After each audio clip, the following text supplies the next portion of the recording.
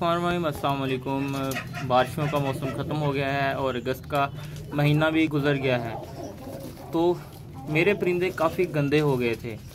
तो जब ऐसा कभी आपके परिंदों में भी हो या अमूमन गर्मियों में तो आप अपने परिंदों को एक ऐसा बर्तन ज़रूर प्रोवाइड करें जिसमें परिंदे खुशी खुशी नहा लें। क्योंकि जो कबूतर का परिंदा, जो कबूतर है, ये किसी भी ब्लड लाइन का, कोई भी कबूतर होगा, वो बहुत शौक से नहाता है। तो ये मेरा बर्तन छोटा पड़ रहा है और कबूतर इतने खुशी से और इतने मज़े से नहा रहे हैं कि कोई अंदाज़ा नहीं है।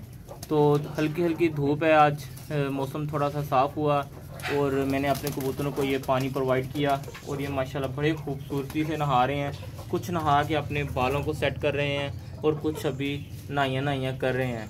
तो माशाल्लाह बहुत ही खूबसूरत मेरे पास ये लकी कबूतर हैं।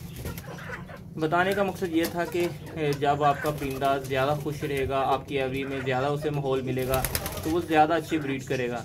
और ज़्यादा अच्छी ब्रीड करेगा तो आपको ज़्यादा प्रॉफिट होगा। यही एक छोटा सा मकसद होता है अपने परिंदों को खुश रखना। अक्सर हमने फिंचज़ ऑस्ट्रेलियन और पैरट्स वगैरह रखे होते हैं। उनको माहौल थोड़ा सा ग्रीनरी पसंद होती है थोड़ा सा ये तो हर परिंदे को पसंद है, लेकिन थोड़ा सा उनको छुपा के रखना, उनका तो ज़्यादा मसला होता है। हर परिंदा ज़्यादा छुप के ब्रीड ज़्यादा बेहतर कर लेता है, ऐसी जगह पे जहाँ पे इंसानी नज़र ना पहुँचे। उसी सिलसिले में आप अपनी एफ़ का जो माहौल है वो भी ऐसा रखें। थोड़े से डब्बे छुपे हों आपकी नज़र कम पड़े उस पर और ये पानी ज़रूर प्रोवाइड करें ऐसे, क्योंकि पानी जब आप प्रोवाइड करते हैं तो कबूतर एक बार नहाता है और फिर ज़्यादा फ्रेश होकर ज़्यादा मस्ती करता है, अपने बालों को सेट करता है, अपनी एवरी में। अपने होने का एहसास पैदा करता है कि मैं इस एवरी में हूँ। तो जो मादी होती है, वो फिर ज़्यादा अट्रैक्ट होती है उस मेल की तरफ़। तो यही एक थोड़ा सा पैगाम था आपकी तरफ़ देना कि आप अपने परिंदों को पानी ऐसे ज़रूर दें। और पानी अगर आप ऐसे रखते हैं तो आप कोशिश करें कि इसके अंदर ऐसी कुछ चीज़ मिला दें कि जो इनके जरासीम को ख़त्म कर दे।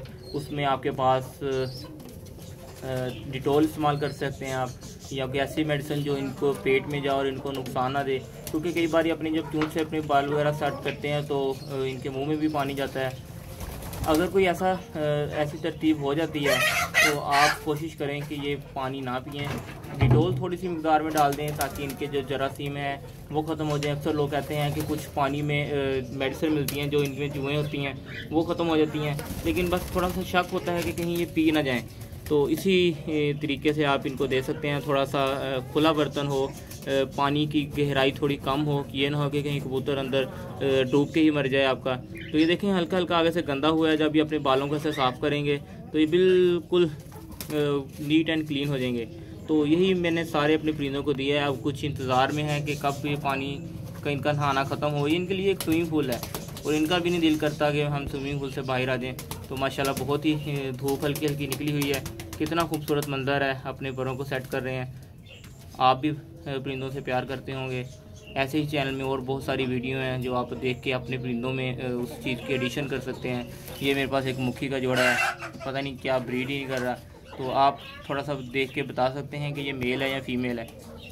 तो मुझे तो हरकतों से तो ये मेल फीमेल ही लगते हैं, लेकिन ये मेरे पास अभी ब्रीड नहीं कर रहे। तो माहौल देने की कोशिश करते हैं ताकि अच्छी तरह ये नहा लें खुश रहें। तो बस यही एक छोटी सी वीडियो लेके आप तरह हाजिर हुए थे। वीडियो अच्छी लगी हो, इन्फॉर्मेशन अच्छी लगी हो तो वीडियो को लाइक कर दें, चैनल को शेयर कर दें, और हल्का सा सब्सक्राइब कर दें, ताकि मेरी आने वाली नोटिफिकेशन आपको मिलते रहें। तमाम दोस्तों